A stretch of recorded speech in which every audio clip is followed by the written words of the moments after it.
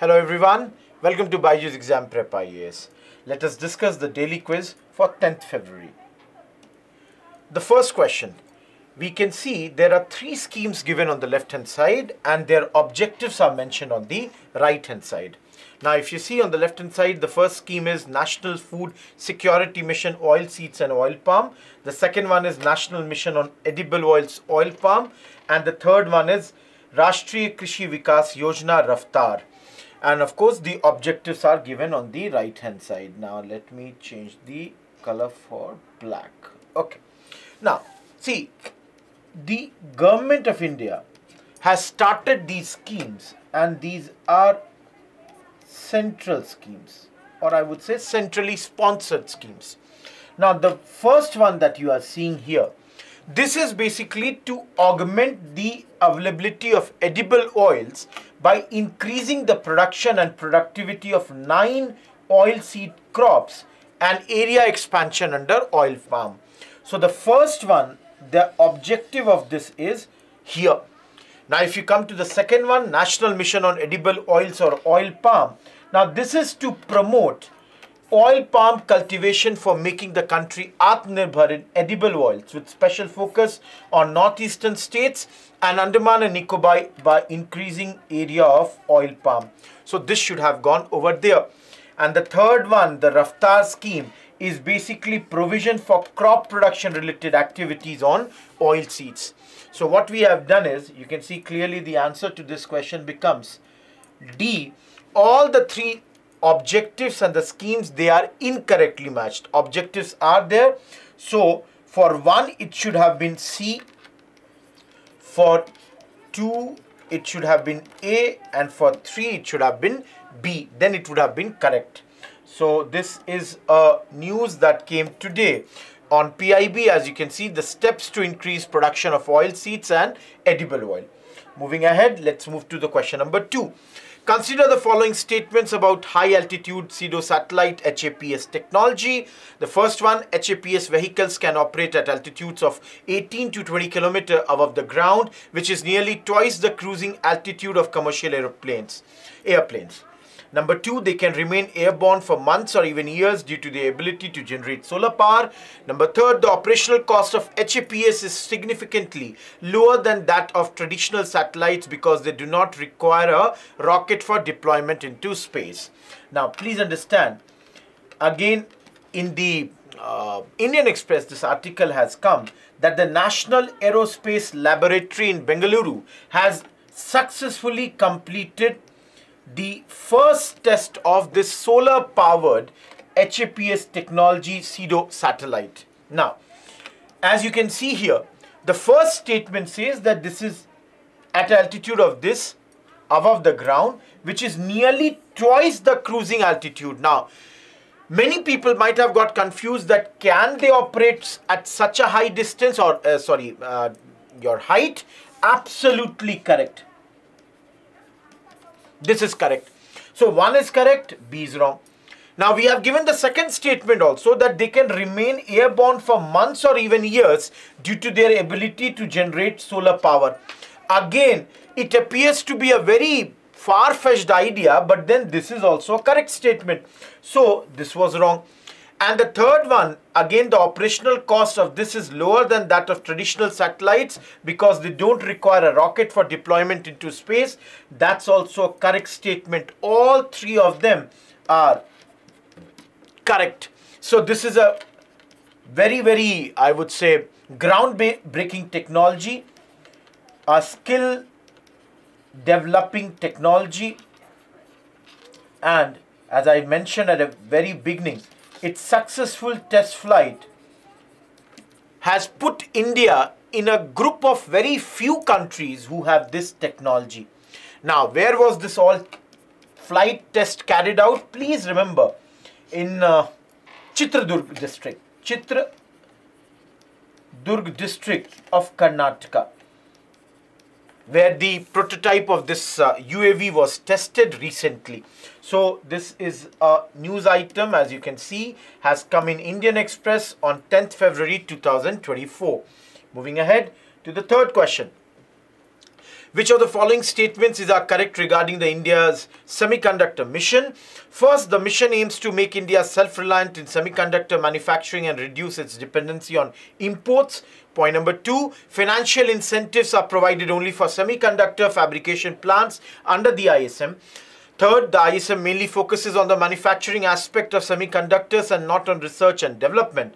And fourth, collaboration with global semiconductor companies, research institutions, and governments is a key, key component of the ISM to foster technology transfer and investment.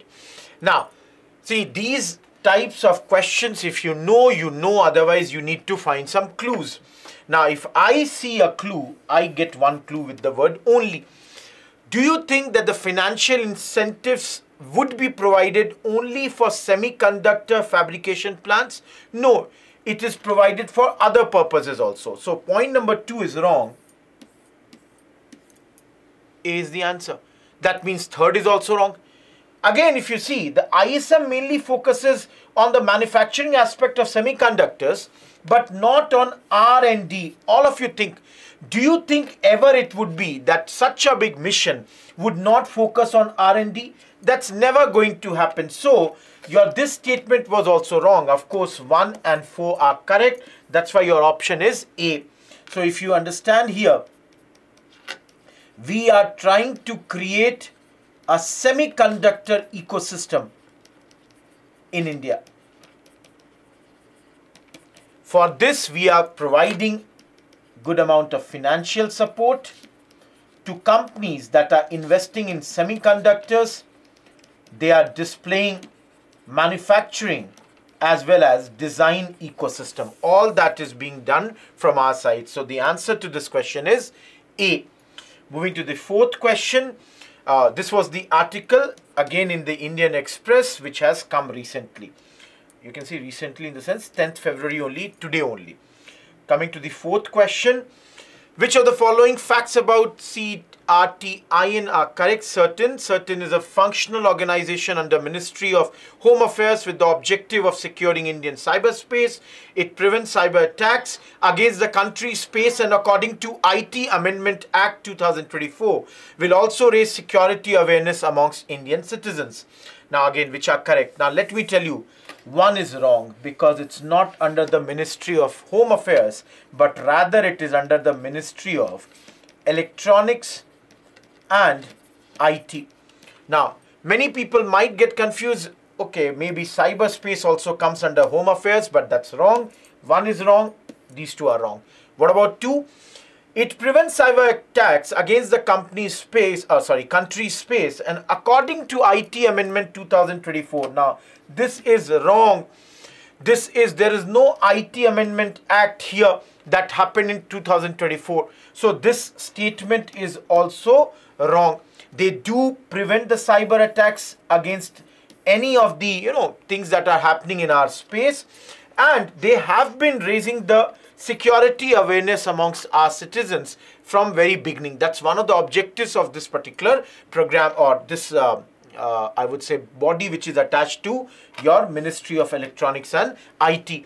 Even today, they had given a warning to all the users who were using Google Chrome that it is very vulnerable to attacks. So the fourth question, the answer is D. Moving ahead, a PYQ from 2018, a factual question in the Federation established by GOI Act 1935, residuary powers were given to the a factual question, Governor General. You all must have studied GOI Act 1935, which was a very, very important document at that point, and even after independence became a very important document because half of our constitution has been borrowed from this particular act.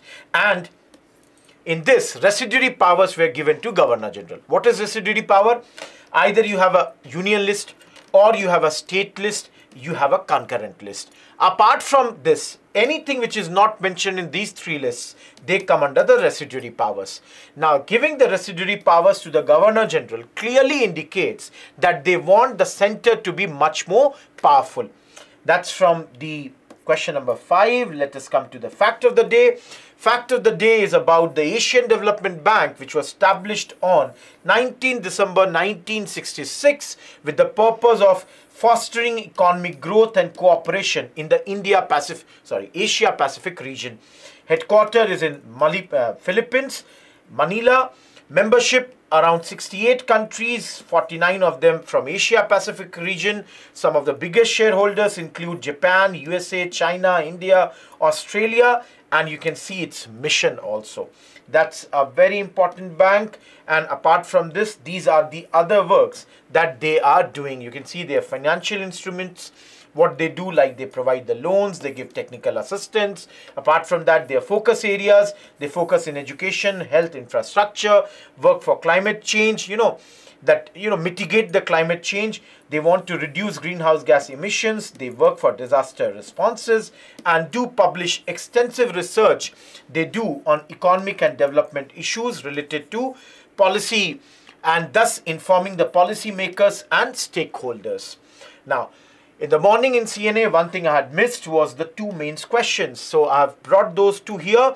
In your opinion, has the role of USA declined at the global level? Comment in 150 words. Number two, the preamble is the philosophical key to the Constitution. Examine this statement. Comment it in 250 words. If you like these initiatives, do like, subscribe and comment on them. And we shall again meet again tomorrow in another session. With that, I'm saying thank you, goodbye.